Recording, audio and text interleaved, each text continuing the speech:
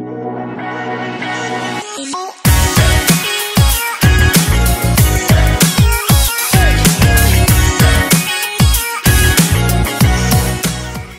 I'm just going to share with you what I think about salary jobs versus commission heavy roles.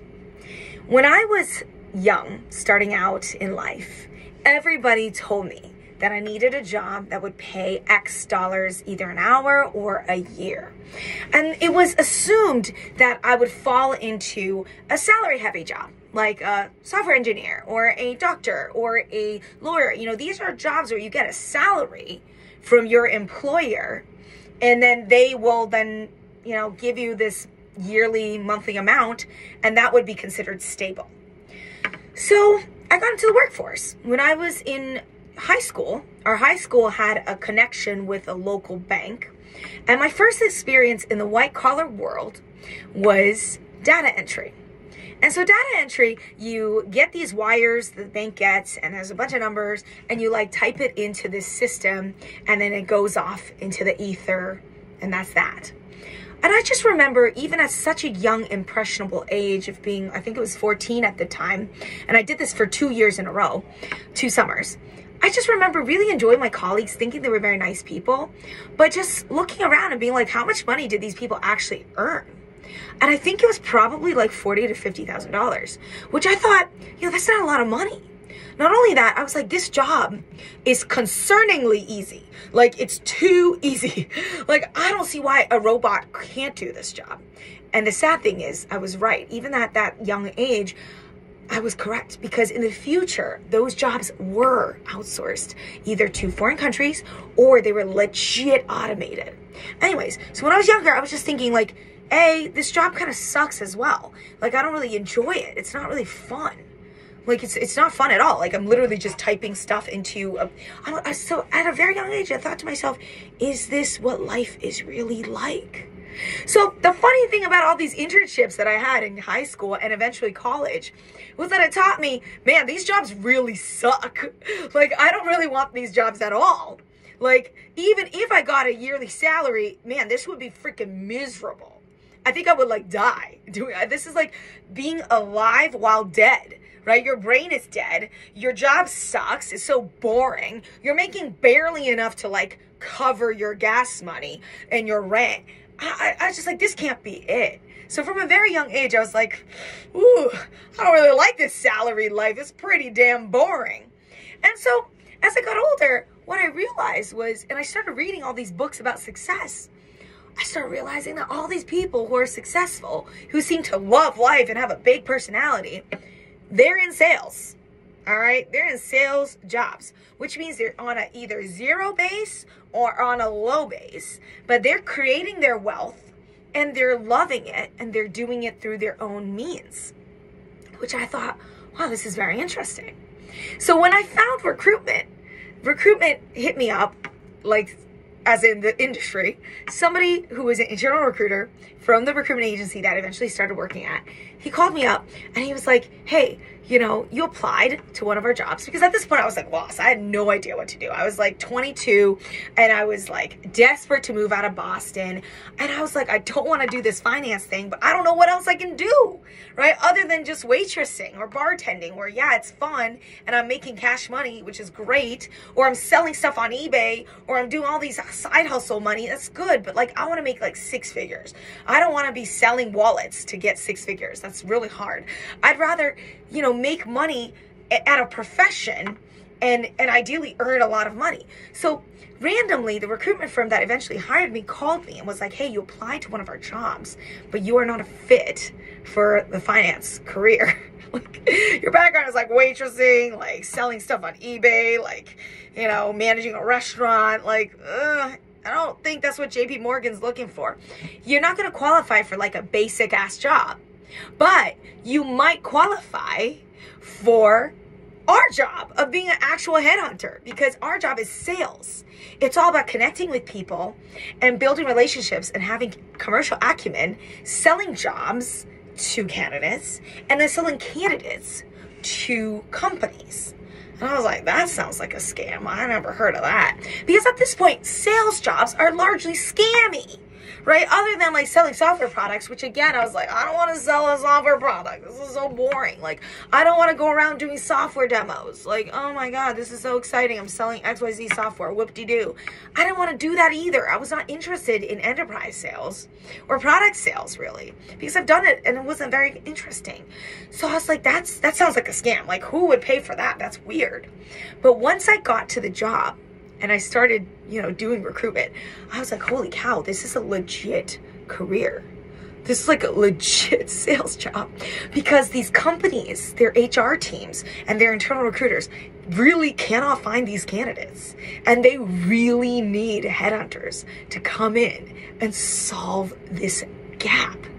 And the problem with the US education system is that it's not pump, pumping out enough qualified talent right? If we don't look at external hires an, external, you know, immigration coming in to do these STEM jobs, they're literally there's just not enough native talent, native born talent to do the work. So what happens is that there's like a 10 to 20x demand for the existing pool of candidates. Thus, it breeds a need for a specialist, a headhunter to come in to solve this missing gap. And that's what happens in every single STEM career. There's just not enough people to go around. So you need professional agents, professional people who understand how to move talent. This is a highly specialized sales skill. And these people get paid a crap ton of money. And I mean a crap ton. So I was paid 30,000 to 50,000. We're paid on a percentage off of the salary. So if I'm doing a salary of 150 at 20%, 20% is like the bare minimum a good recruiter would charge. So 20% is like at the minimum what you would expect. And you would only give that to like highly desirable accounts on maybe the first hire, right? So contract negotiations, that's a whole nother thing. But my point is, worst case scenario, you're getting 20% off of their salary. And you really shouldn't be doing deals at under a hundred grand. Like if you work for a recruiting agency, you need to be doing deals at a hundred plus, or else how are you going to commission? Right? So recruitment is all about math. So I started doing deals at 30 to 40K each. So I made my company $330,000 in the first year that I was a recruiter. Out of that, I got to keep about 87,000 of it. Damn, for a 23 year old, that's not so bad. I'm talking back in 2011. So the salaries were not as inflated as they are today. Not only that, the tools that recruiters have today, like social media, like just all of these technology tools to connect with our network, it's so exciting right? So in my second year of recruiting, I billed over $500,000 for my company and I got to keep 130,000 of that. Now bear in mind, I'm doing the client side and the candidate side. Most recruitment agencies would actually pay you 50%. So if I was at the at the right recruitment business, I probably could have made closer to two to three hundred thousand dollars in my first in my second year of recruiting. In my first year of recruiting, I would have probably made closer to 120 to 150. But because I worked at a large recruitment agency, my um, commission cuts were much lower than what was expected. In my third year of recruiting, I billed over 740,000 I got to keep 215 of that. Again, if I was working at another recruiting firm, probably would have made closer to 300 to 350 of that, maybe even more, 400, right? Because once you start billing over half a million, your firm really starts to give you more because they're like, we don't want to lose this person. This person is just like printing money for us. So can you believe it? There's a sales job out there that no one knows anything about and there's a ton of 20 year olds over there making 100, 200, 300, 400,000 dollars a year. Well, that's recruitment. It's not rocket science, but it's hard. It's a really hard job because you have to be exceptionally detail oriented, charismatic, people oriented to do this role because it's about customer service and it's also about business. It's about client services. So if you're interested to learn more about recruitment as a sales career, check out recruiterprep.com. That's a course that I put together with my colleague Grace. We started this company, recruiterprep.com, to teach you what recruitment is all about and also teach you recruit. If you're a recruiter who knows that you're not getting paid what you should be paid, let's talk today because I want to help you get the commission rates that you deserve. And then lastly, if you are scared of going into a sales job, all I can say is that you're probably not cut out for it then because you have to have a lot of self belief, self confidence, and also be a bit of a contrarian. If you want to go that traditional route, that's what most people do They have a job job, even people in recruitment. They can't handle this and they go internal and become an HR person. But that's not what we do. We're salespeople. As salespeople, we love what we do, we enjoy our lives, but we are confident. We know that we're capable of achieving what we want to achieve.